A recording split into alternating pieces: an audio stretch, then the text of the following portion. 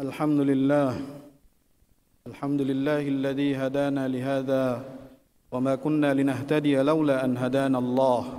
أشهد أن لا إله إلا الله وحده لا شريك له لا نعبد إلا إياه.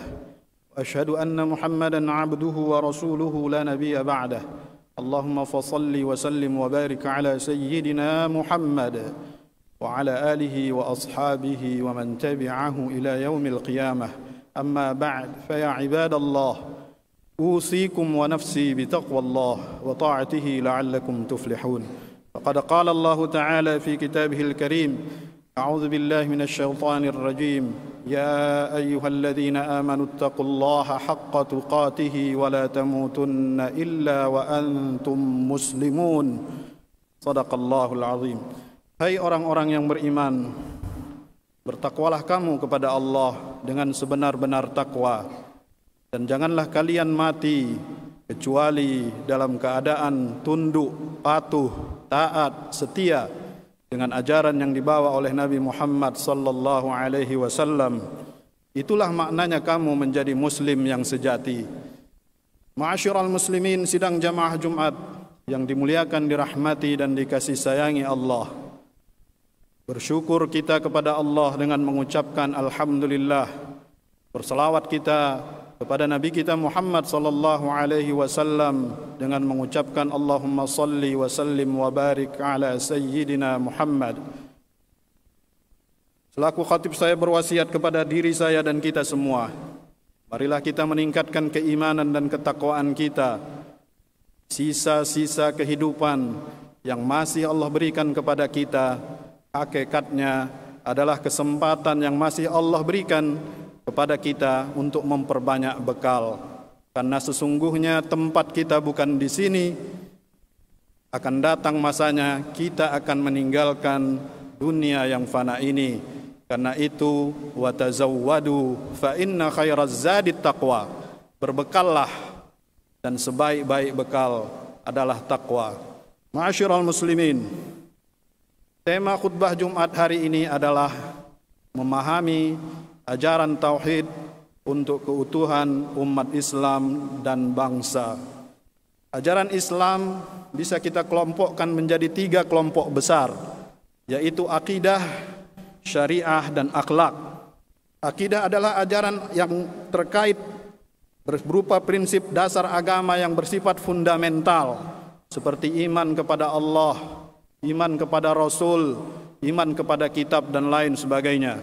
Syariah adalah ajaran tentang hukum dan aturan tentang perbuatan mukallaf dan akhlak adalah ajaran tentang tingkah laku tabiat perangai yang muncul menjadi kebiasaan. Ajaran tauhid itu masuk ke dalam ranah akidah. Bahkan sebagian ulama ada yang menyamakan akidah dengan tauhid sehingga ilmu akidah itu juga disebut dengan ilmu tauhid. Ma'asyiral muslimin, apa yang dimaksud dengan tauhid? Tauhid secara bahasa terambil dari kata wahada yuwahhidu tauhidan. Artinya menjadikan sesuatu itu esa. Maksudnya menjadikan Allah itu esa. Secara terminologi, tauhid adalah ilmu yang membahas tentang wujud Allah, sifat-sifat yang mesti ada padanya, sifat-sifat yang boleh ada padanya, dan sifat-sifat yang tidak boleh ada padanya. Membahas tentang Rasul dan sebagaimana pula ketentuan keimanan yang lainnya, membahas tentang kitab dan lain sebagainya. Demikian pendapat Muhammad Abduh. Menurut para ulama tasawuf, Kunci dari tauhid itu adalah memisahkan yang bako dari yang fana.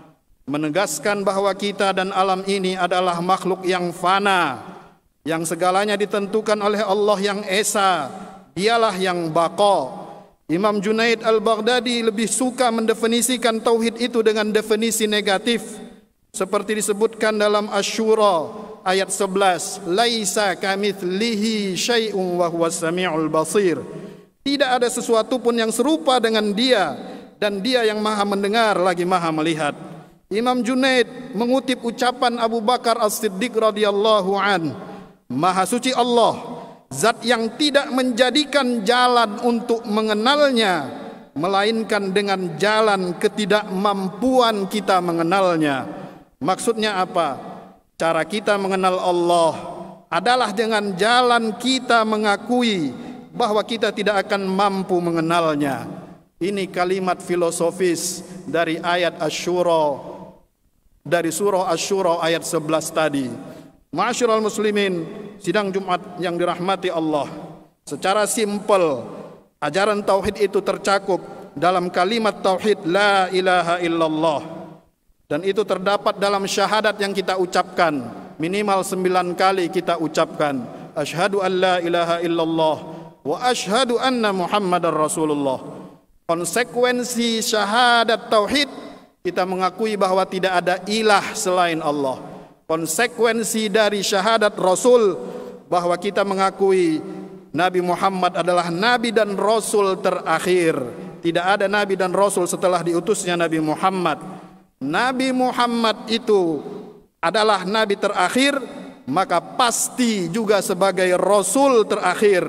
Karena rasul pasti nabi dan nabi belum tentu rasul. Demikian Imam Ibnu Katsir menjelaskan tafsir surah Al-Ahzab ayat 40. Maka Muhammadun aba ahadim min rijalikum walakin Rasulullah wa khataman nabiyyin. Baik syahadat tauhid maupun syahadat rasul, keduanya adalah satu kesatuan yang tak terpisahkan. Tidak bisa seseorang hanya mengakui syahadat tauhid tapi tidak mau mengakui syahadat rasul Demikian juga sebaliknya. Masyarul muslimin, apa makna tauhid kalimat la ilaha illallah? Sering kita terjemahkan tidak ada Tuhan selain Allah. Dalam kamus Lisanul Arab karya Muhammad bin Mukarram bin Ali bin Ahmad yang dikenal dengan nama Ibnu Manzur lahir di Tunisia tahun 1233 di situ disebutkan bahwa kata ilah itu memiliki variasi kata yang cukup banyak. Ada di antaranya laha dan aliha yang apabila kita telusuri maknanya berarti sesuatu yang kita taati, sesuatu yang kita sembah, sesuatu yang kita cintai, sesuatu yang kita puja, sesuatu yang kita puji, sesuatu yang kita agungkan, yang kita damba, yang kita kejar dan lain sebagainya. Dengan demikian, ketika kita mengucapkan la ilaha illallah itu tidaklah sesederhana menerjemahkan tidak ada Tuhan selain Allah tetapi maknanya lebih dalam tidak ada yang saya sembah tidak ada yang saya puja tidak ada yang saya puji tidak ada yang saya cintai tidak ada yang saya damba tidak ada yang saya kejar tidak ada yang saya nanti-nanti tidak ada yang menjadi tumpuan harapan, tidak ada yang menjamin hidup dan mati, tidak ada yang menjamin rezeki, tidak ada, tidak ada, semuanya tidak ada kecuali Allah Subhanahu wa taala. Kalimat tauhid dimulai dengan kalimat nahi atau maksud saya kalimat nafi la ilaha harus semuanya dinafikan semuanya dinegasikan kecuali hanya dia Berarti termasuk pikiran kita, gagasan kita, bayangan kita tentang Allah pun kita napikan. Pokoknya hanya Allah yang ada yang tak terjangkau oleh pikiran. Dalam studi agama, cara atau metode ini disebut dengan teologi negasi, yaitu menegaskan sesuatu dengan cara menegasikan. Semuanya ditidakkan, semuanya dinegasikan, hanya Dia yang ada Maha suci Allah, zat yang menjadikan jalan bagi makhluknya untuk mengenalnya melalui cara mengakui ketidakmampuan kita mengenalnya. Demikian Imam Junaid mengatakan di dalam risalahnya. Masyurul muslimin, kalau kita perhatikan Al-Quranul Karim, paling tidak ada tiga hal yang bisa berpotensi menjadi ilah. Yang pertama, yang berpotensi menjadi idah adalah benda atau materi. Sebagaimana disebutkan di dalam surah Al-An'am ayat 74. Wa idh qala Ibrahim li abihi azara atattakhidhu asnaman alihah Ingatlah ketika Ibrahim berkata kepada ayahnya, Pantaskah engkau menjadikan berhala-berhala itu sebagai ilah-ilah? Dari ayat ini dipahami bahwa berhala-berhala dijadikan ilah. Dalam konteks sekarang, benda, materi, harta, kekayaan berpotensi dijadikan ilah oleh manusia. Yang kedua, apalagi yang berpotensi menjadi ilah, jabatan dan kekuasaan. Di dalam surah Al-Qasas ayat 38, wa qala Fir'aunu ya ayyuhal mala'u ma 'alimtu lakum min ilahin ghairi fa'awqid li ya haman 'ala at-tin faj'al li sarhan la'alli attali'u ila ilahi Musa wa inni la'adhunnuhu minal kadhibin. Ketika Firaun berkata, "Wahai para pembesar-pembesarku, aku tidak mengetahui ada ilah bagimu selain aku. Maka dari ayat ini dipahami Fir'aun dengan kekuasaannya yang begitu mutlak menyebut dirinya sebagai ilah. Begitu besar dan mutlak kekuasaan yang dia miliki, semua orang sudah bergantung kepadanya sehingga Firaun pun berkata, "Tidak ada ilah bagi kamu selain aku." Sehingga ilah dalam hal ini adalah jabatan dan kekuasaan berpotensi dijadikan ilah oleh manusia. Yang ketiga, apalagi yang berpotensi menjadi ilah, hawa atau sering kita sebut hawa nafsu, keinginan yang tak terkendali. Di dalam surah Al-Furqan ayat 43 Allah berfirman, "Ara'aita man ittakhadha ilahahu hawa?" Sudahkah engkau wahai Muhammad melihat orang yang menjadikan hawanya keinginannya yang tak terkendali itu menjadi ilahnya. Dari ayat ini dipahami ada manusia yang menjadikan hawa nafsunya menjadi ilahnya. Masyurul muslimin, mengapa dasar dari agama kita adalah tauhid? Jawabannya, karena kita sendiri dulu yang berjanji. Di dalam surah Al-A'raf ayat 172, Allah berfirman, wa id akhadha rabbuka min bani adama min zuhurihim.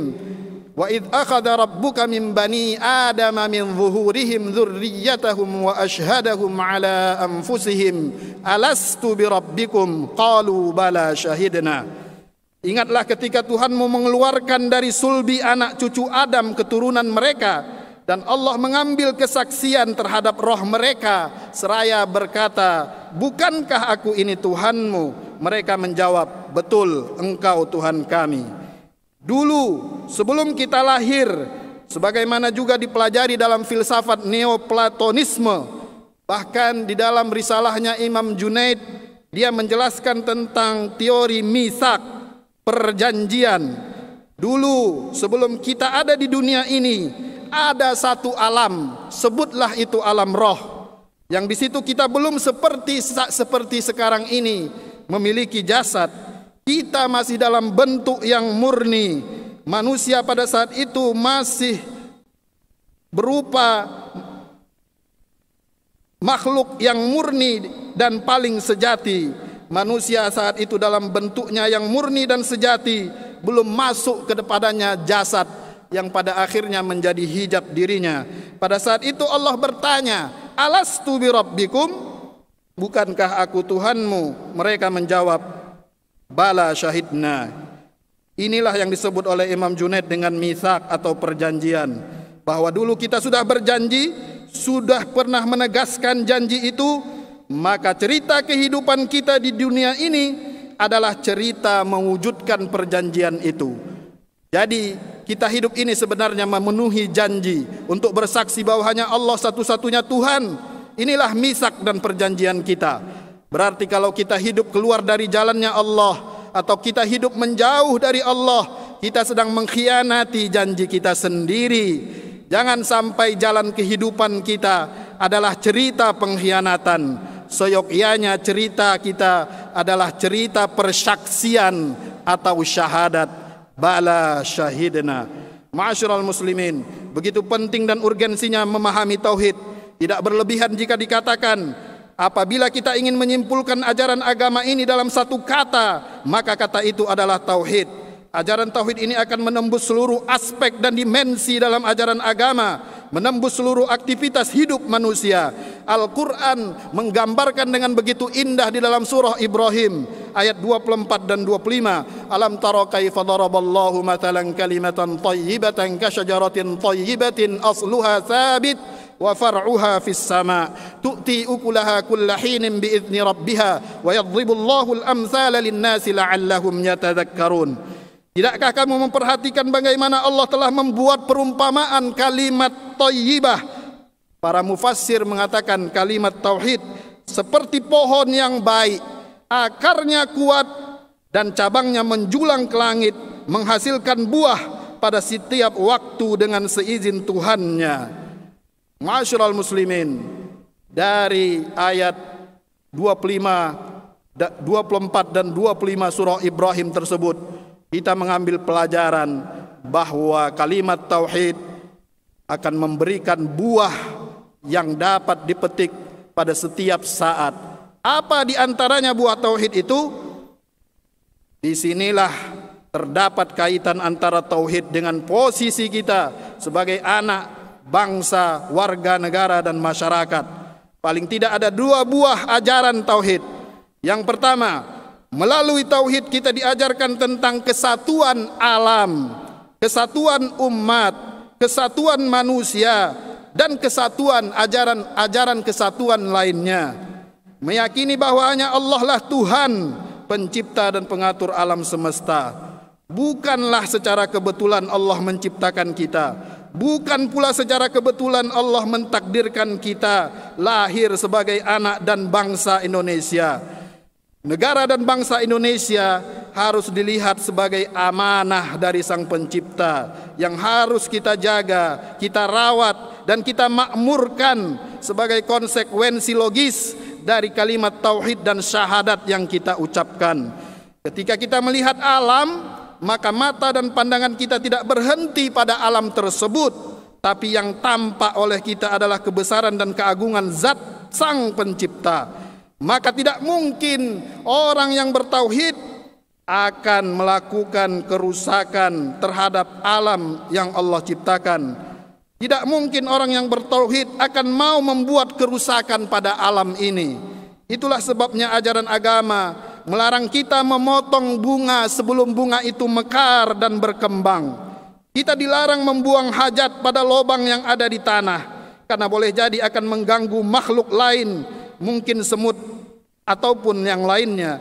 Kita juga dilarang boros dalam menggunakan air meskipun itu untuk berwudu. Kita tidak boleh memotong pohon, merusak bangunan, merusak rumah ibadah dan lain-lainnya Jangankan pada saat normal atau damai, bahkan pada saat terjadi peperangan pun hal itu dilarang oleh agama. Begitulah tauhid menembus dimensi dan cara pandang kita melihat alam dan ciptaan Allah Sang Pencipta. Yang kedua, melalui tauhid Allah mengajarkan kepada kita tentang kesatuan alam, maka buahnya adalah ajaran perdamaian. Bagaimana kita diajarkan hidup damai dan harmonis, bersinergi dalam tugas-tugas kekhalifahan yang hanya Allah letakkan di atas pundak makhluk yang bernama manusia. Tidak diberikan amanah itu kepada makhluk lain, apakah itu jin, malaikat, hewan atau makhluk lainnya. Allah menciptakan alam ini dengan keseimbangan dan timbangan. Wassama arafa'aha wa wada'al mizan. Alla tatau fil mizan. Wa aqimul wazna bil qisti wa la tukhsirul mizan. Maka tegakkanlah keseimbangan itu. Jangan merusak keseimbangan itu. Jangan pula mengurangi keseimbangan itu. Dan tegakkanlah timbangan itu dengan adil. Sebuah bangsa dan negara akan beroleh kedamaian dan keharmonisan asalkan warganya, masyarakatnya dan pemimpinnya berkomitmen untuk menjaga timbangan, menegakkan keseimbangan, berlaku adil, tidak merusak dan mengurangi keseimbangan tersebut. Itu sudah menjadi hukum dan sunnatullah yang ditetapkan oleh Allah Sang Khalik yang menciptakan alam semesta ini dengan keseimbangan dan prinsip-prinsip keadilan.